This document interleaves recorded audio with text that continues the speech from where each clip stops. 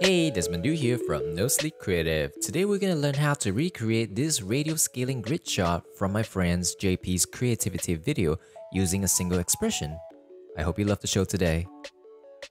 Alright, let's get to the motion analysis. Let's take a look at the reference scene for the animation in real time and slower playback speed.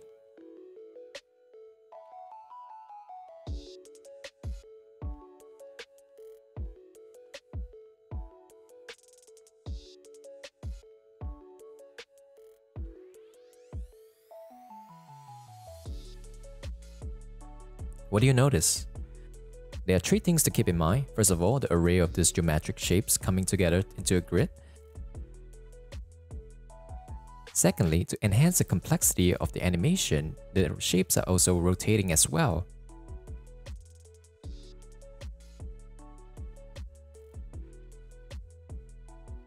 Lastly, to make the scene feel more alive, notice how the drop shadow distance increases and rotates in a clockwise direction.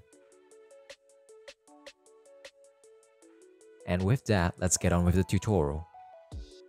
Alright, let's first talk about how to import an Illustrator file into After Effects. For those who want to make their own designs, all you have to do is make sure each of your shape is in its own layer in Illustrator. And once you have that, you can go into After Effects and we can go into File, Import, File, and then select the Illustrator file.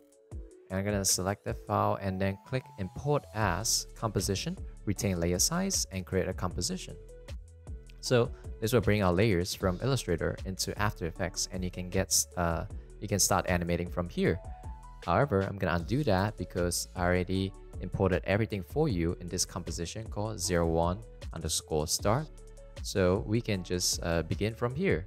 And I'm just gonna duplicate this uh, this composition and call it demo, right? So I can retain the source. As you can see, I have animated the hero circle for you, so we can just focus on the radius scaling expression.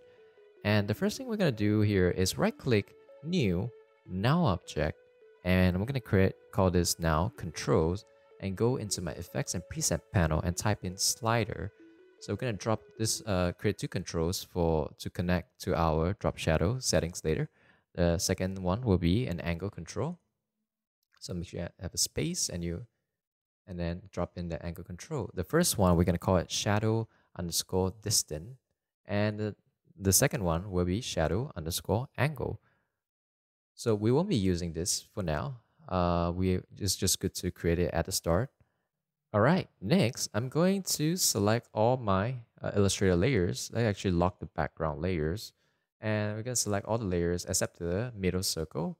And we are going to parent it to the control null layer and we can actually start animating. Uh, no, actually, we, we can't start animating yet because here's the problem that I have when we uh, scale in and out. Notice even though we have this pushing in of the grid, right, the scale of our individual shape layers is uh, also increasing and decreasing. We want it to be constant, right? So to have this parent-child link without the scale change, we can write a simple expression into our, our Illustrator layers over here.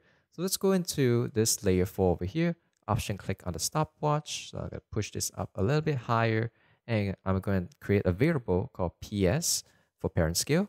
So I'm going to type in parent dot scale, a parent dot transform dot scale dot value semicolon. And then I'm going to type in S is equals to, and then I'm just going to grab the X value.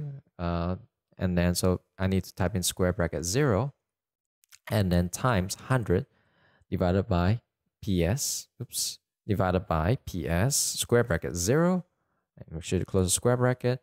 And since the scale has two, uh, is an array with two values, make sure you uh, type create an array and just type in S comma S. All right, we're gonna get an error because I missed out a semicolon over here.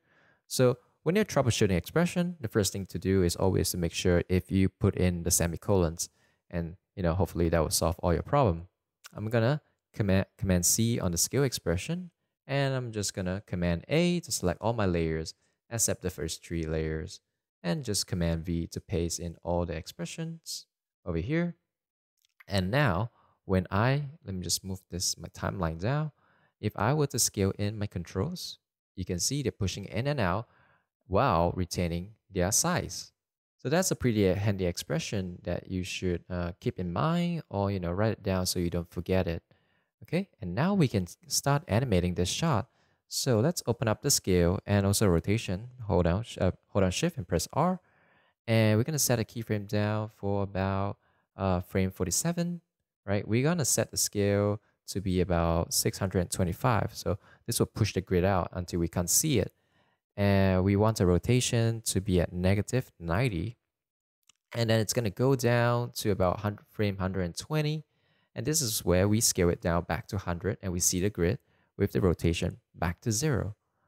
And then after that, we are going to animate out. So we're going to go in the reverse. We're doing, doing the same thing again. You can actually just copy the keyframes uh, and then just do negative 90. Uh, actually, no, 90. So yeah, 625 to 0 to 625 as a scale and rotation, it goes from negative 90 to 0 to 90. Okay, so uh, let's play that. So it's move, moving kind of slow. Uh, so what we need to do is to select all the keyframe, keyframe assistant, easy ease, and see you know how that works.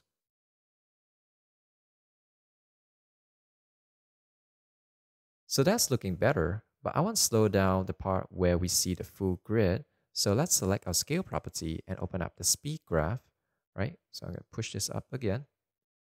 And I'm just going to make this part uh, this middle keyframe a little bit, uh, you know, flatter. So that might, and that should work. Let's play it.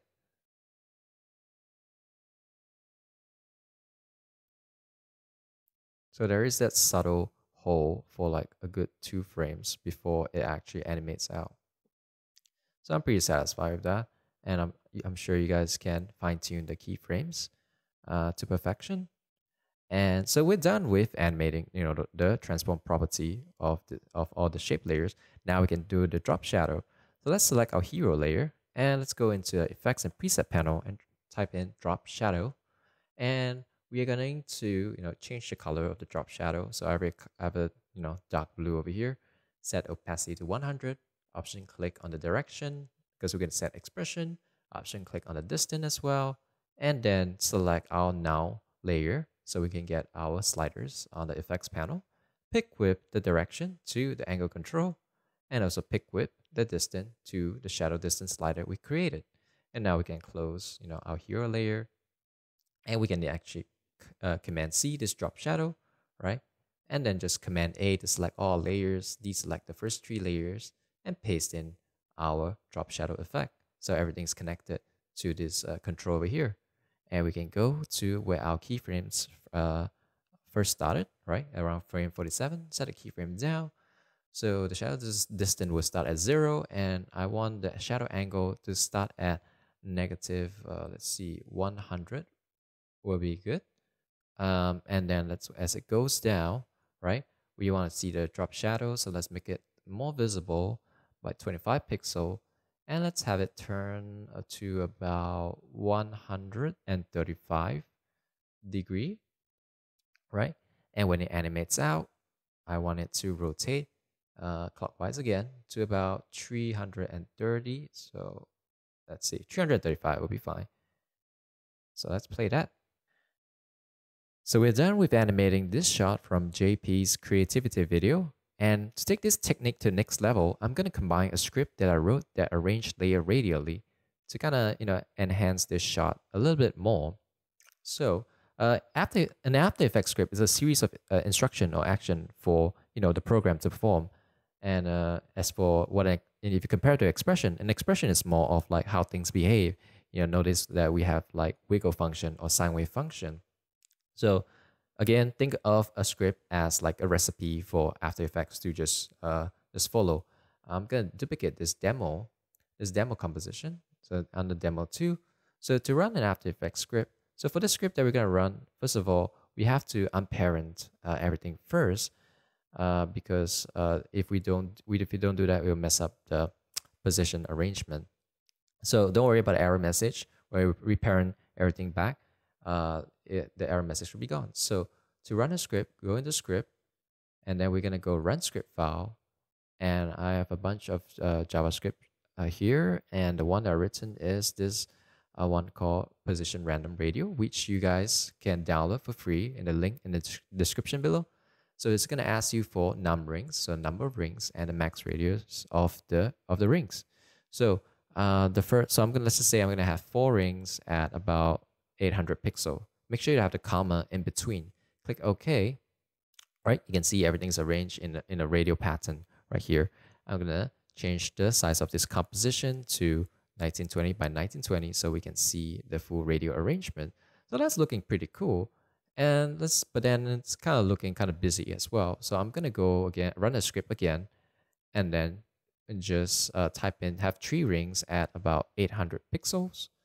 So you know you're gonna get random uh, configuration uh, each time. So you have to keep running the script until you find uh, the perfect number or the perfect uh, configuration. In the future, I'll write a script UI to make uh, to make our lives easier. But for now, uh, you can either access it through recent script file, and then let's type in tree, comma 800. Uh, an alternative is uh, the shortcut Command Option Shift D will re uh, repeat the last script. So I'm going to do tree 800 again until I get a nice design. So that's looking pretty nice. But you might think to yourself like, okay, this, this shape is kind of out of place. I want to replace it.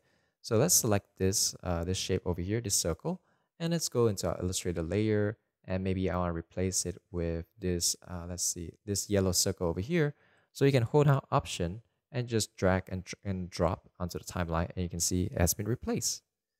So yep, so that's, so you can, you know, you can still change the design even after the script. And so I'm, I'm okay with this. I'm going to select everything here. And then I am going to parent it back into my control null layer and if I were to play it now, right? Now when I play this animation, notice how that we're still retaining, you know, all the animation that we made previously, even though we drastically changed the arrangement of our, you know, of our shape layers, right? So that's the beauty of, you know, having everything in this control now. Uh, it's kind of like a procedural way of working, you know, and it's easier for someone who opens a project file. They just need to find one layer to change everything. Finally, to enhance this shot with some subtle secondary motion, we're going to have the rotation of the layers point towards the center, and we can do that with an expression.